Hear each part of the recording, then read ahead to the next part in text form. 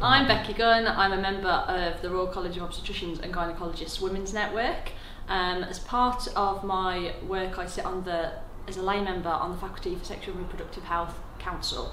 Um, they are a faculty of the college, but they work as an independent organisation and they have a membership of over 15,000 doctors and nurses working in um, sexual and reproductive health, primary care, um, GUM services and obstetrics and gynecology.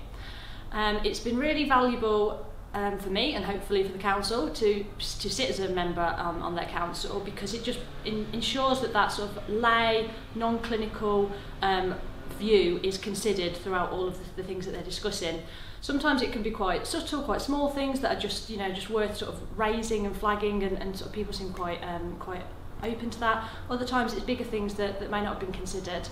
And it's just a good opportunity to sort of raise it there and then, rather than sometimes things to go further along the line and then to be brought up when maybe it's harder um, for things to be sort of rectified. Um, it's also really valuable because to have someone in the room who is then sort of tied into, say, the Women's Network and Women's Voices, it means that